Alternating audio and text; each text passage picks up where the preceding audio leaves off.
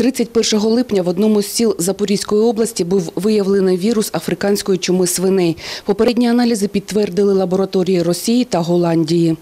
Источником инфекции, скорее всего, являются э, необработанные термически пищевые от- отходы с баз отдыха. Туда э, возбудитель, то есть вирус африканской чумы свиней, попал, скорее всего, с э, продуктами свиноводства, э, с отдыхающими из России.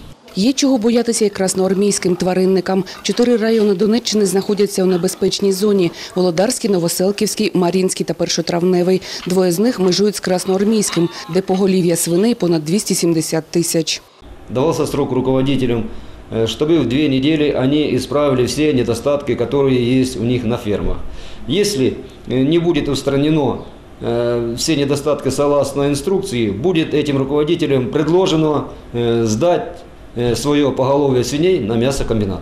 На сьогодні найбільше питань до двох агрофірм. Якщо вони не зможуть перейти на закритий режим роботи, їм доведеться зачинитися. А це величезні збитки, адже м'ясо прийдеться здавати по 16 гривень за один кілограм живої ваги, у той час як на ринку вартість свинини складає від 40 гривень за кілограм.